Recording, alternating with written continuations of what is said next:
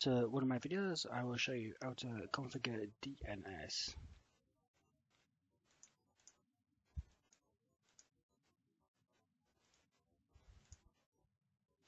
You do it, you click on the new zone, and then you click next.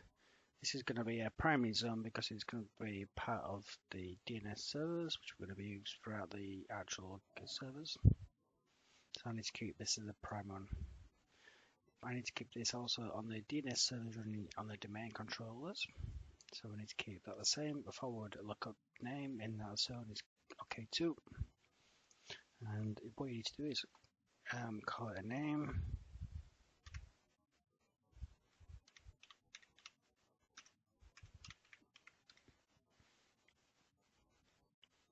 Go next. Allow for dynamic updates. This is recommended by the Microsoft um, website and then you click next and then finish. Right.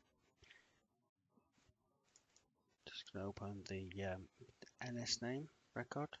Um,